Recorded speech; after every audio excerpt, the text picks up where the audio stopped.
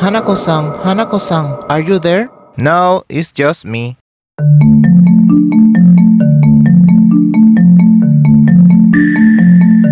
Hi everyone and welcome back to the Hatter Dolls. It is October, which means the month of Halloween.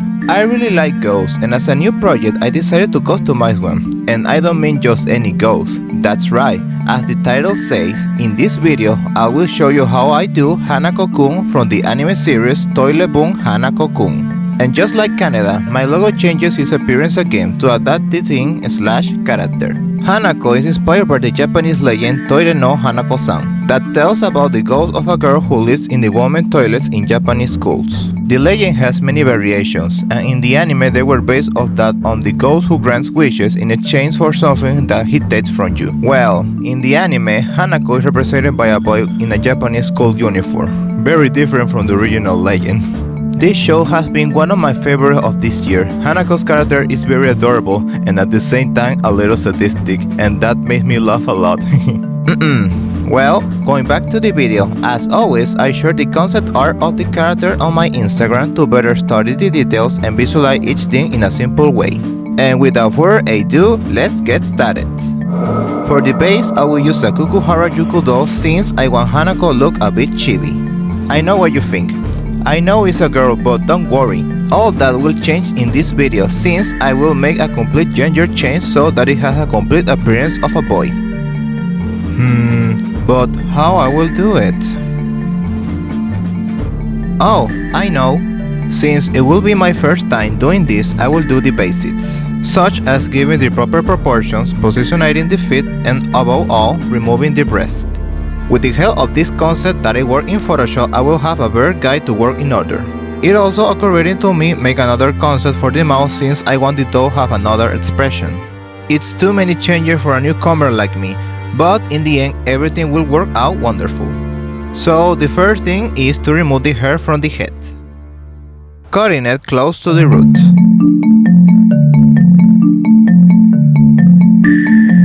Okay, removing her from this type of doll is a bummer. The vinyl is too hard, Dios mío. So I'm gonna cut her head with a scalpel and pull the hair out.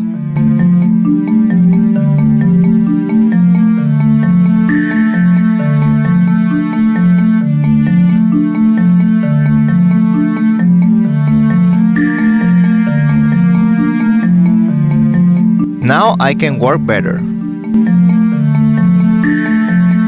without leaving a single hair.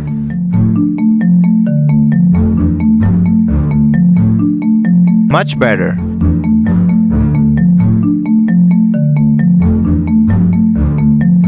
Now I will reseal the head by gluing what I cut with super glue around. And put it again. What can I say, I'm very cautious with my art. To then remove the face of the dog with pure acetone.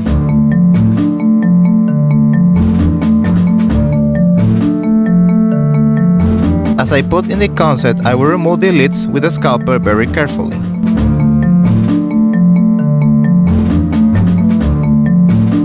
Then I'll be sanding it so that the surface is flatter.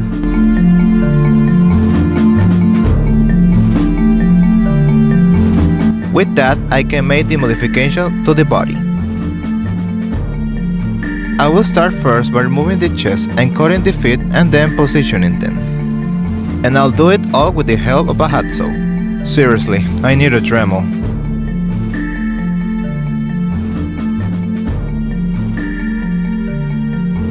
It is the turn of the feet. Staying in this way as in the video of Oracle.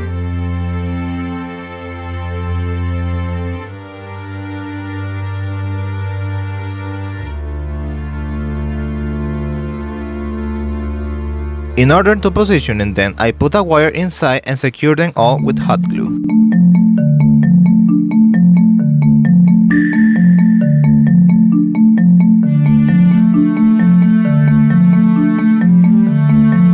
And going back to the glue, this time I use it to give the proportion to the body, being the first layer.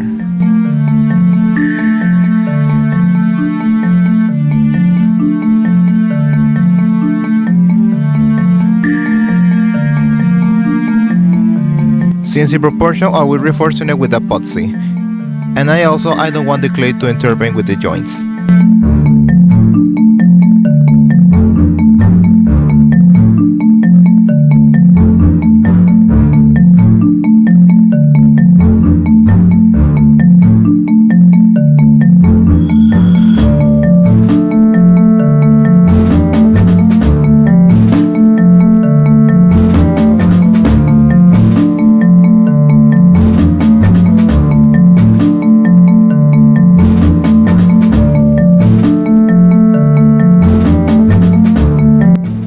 Already have the modified body, it is time to paint it.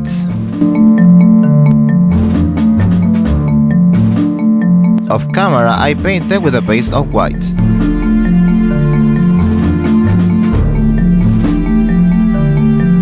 To finally be able to paint it in the same skin tone of the original body. This part has to be done several times and be very patient, since the brush has to do be very wet with the paint on, as it will stick to the surface.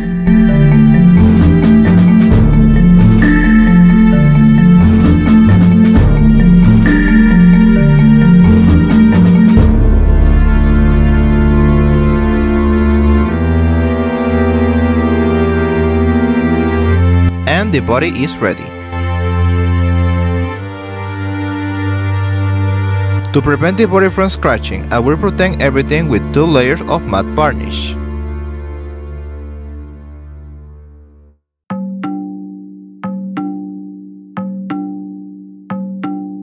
Much better.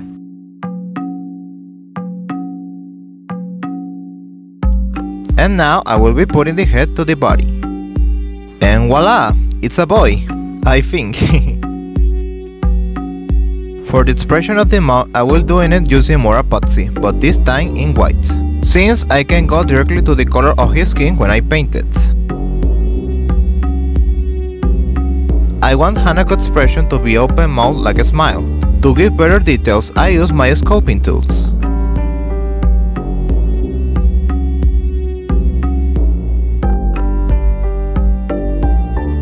I almost the them. Thank God my finger held the clay to blend with the face.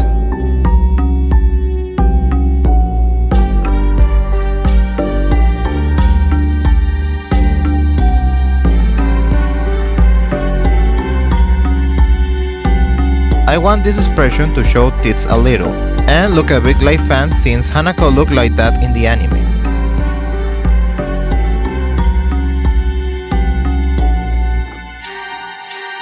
And this is how it is. Wow, the change is very notable. I sanded the little off camera so that it blends well with the face. With the help of a brush, I passed paint mixed with water.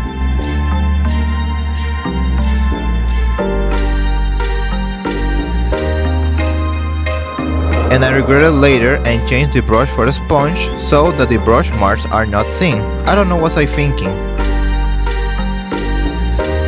And now with the brush, again, I clean the sponge marks and it blends in a better way.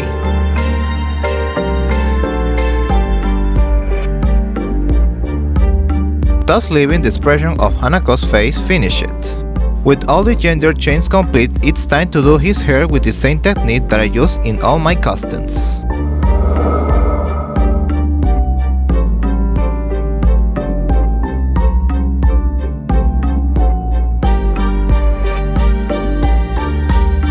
glue it around the wefts in the order that I draw the wet cut lines.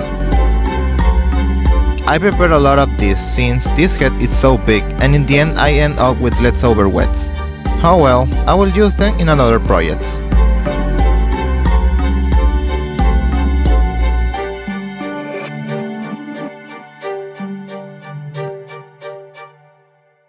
With that, it's time for the scissors.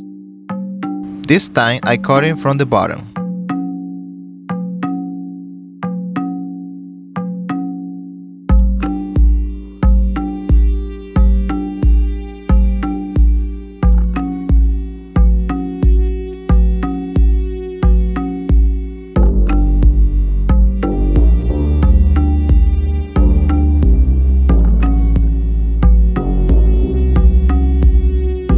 Now with water and glue I will style it and give it the anime style that I really liked so much, staying in this way. For a double secure I will protect it more with a hairspray. And ready! ¡Ay, luce tan adorable! With the hair already finished, I will take the measurements to be able to make his hat. And with the patterns already marking on the fabric, I will start sewing everything with the needle and thread. Well, now that I'm doing this part, you'll be surprised to know that this is the first time I made a hat for a doll. I know, I know, you made me think now, oh, the Hatter doll have never made hats before, I feel cheated. But actually the name is based on this because the hats always represent a thing. And for me, each character is a thing, especially when they are anime characters which are my favorites.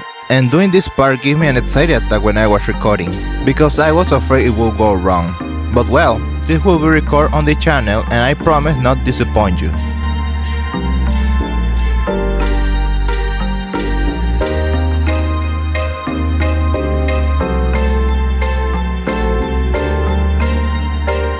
and this is how it looks. To be the first time, it doesn't look so bad. Well, now I can call myself the Hatter Dolls. nah, I'm just kidding. Now I'm going to try it on the doll's head. Yes, it looks great! To finish with this part, I made the respected ornaments, which are made with epoxy and painted in gold. Then I glue them with super glue directly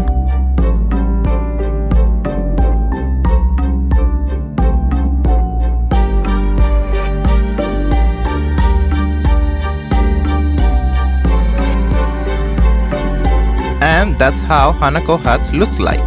Seriously, I'm very proud of myself doing this. Alright, now let's move to my favorite part, the repaint. With three coats of Mr. Super Clear on the face, I started drawing by making the shape of his eyes.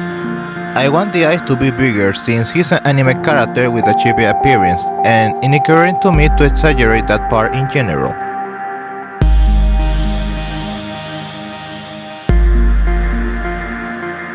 With that, I draw the shape of their pupils and the feeling inside. I must say that the design of the eyes of these characters both in the manga and in the anime has the most beautiful drawing lines I have ever seen so far. I had not read the manga yet and I hope I can do it at some point, since seriously, each illustration of the pages just by looking at leaves me fascinated. Going back to the video, I redraw his eyebrows as they look a bit weird. And with that fits, I start to fill Hanako's eyes with color. I try to do it delicate as possible because if I made a lot of effort, the paint that I use for the expression could scratch. I put the pencil aside and I begin to use my soft pastels for the shadows and give a bit of realism, especially the shadows of the corner of his eyes. Nice touch by the way. With a light pencil, I begin to draw the stamp that is stuck on his cheek and have it already advanced. And with my baselines already marked on his face, it's time to fill them with the black pencil.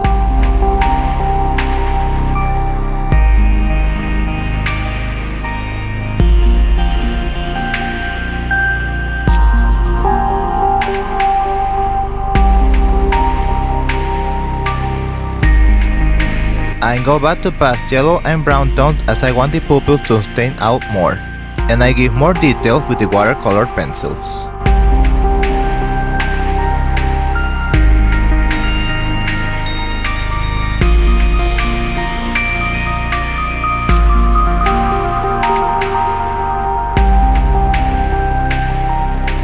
Now I will give him color inside his mouth. Oh, I will also draw the black lines of his pupils, you know, for details. With the red pencil, I will draw the kanji writing on his stem, which will translate as seal.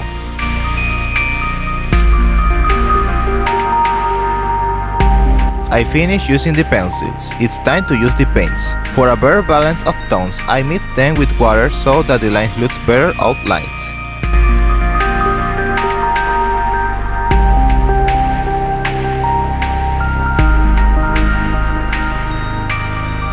With a super fine brush, I will paint the lines of his teeth with white.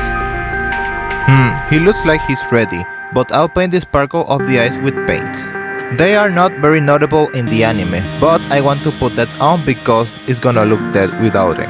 Well, he's already dead, you know what I mean.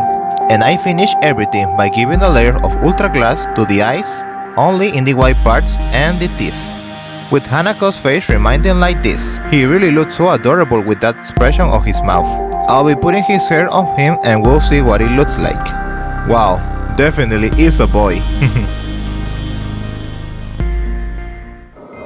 For the uniform, I decided not to record myself doing this part a lot because it's a bit frustrating and sewing takes too long.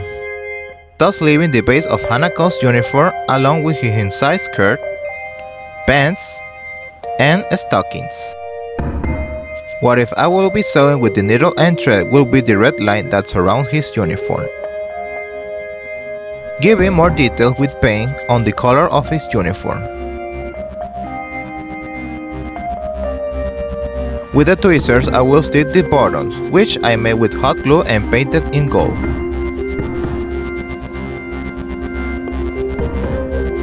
And ready!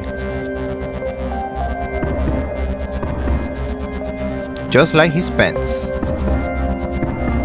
For the shoes, I reused these from Dexter Charming that I have saved. I cut them with a scalpel and modified them with epoxy to make the shade I want. To later paint them with acrylic paint.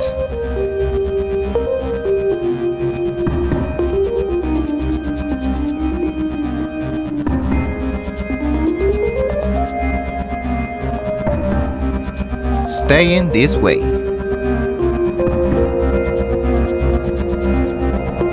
The shoes didn't seem to fit with the stockings I made for him, so I paint his feet with red paint on top instead and honestly I think looks better in that way. For the accessory I made him with soft wood the kitchen knife that he uses as a weapon to defend himself against evil apparitions. Off camera I also made the ghostly orbs that flow around him, using styrofoam craft balls and using epoxy to make the ghostly tails. In the anime they call themselves Hakujodai and Hanako could control them and give them orders. To give the illusion that they are floating, I made a special stand for the doll so that his oars can be in the air, along with the seal writing painting on the platform.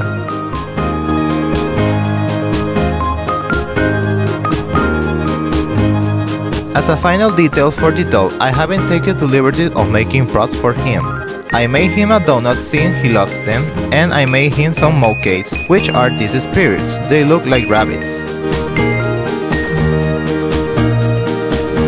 This is my favorite, holds a candy with his ears. And without more to say, Hanako is ready.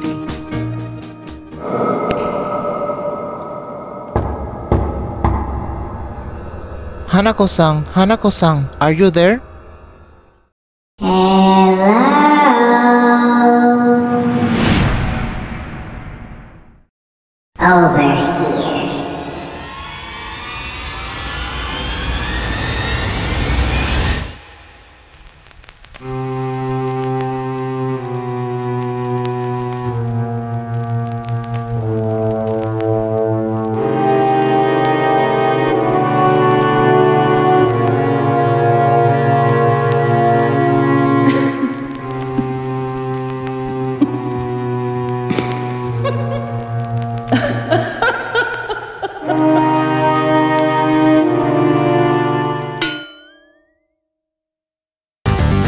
Will define this project as the project of the first times. First time changing the gender of a doll, first time changing an expression, and above all, the first time making a hat.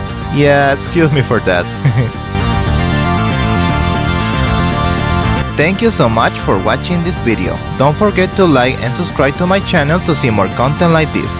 And also, I want to thank the new and old subscribers who have enjoyed my art. Happy Halloween guys! My name is Eric and I will see you next time. Bye!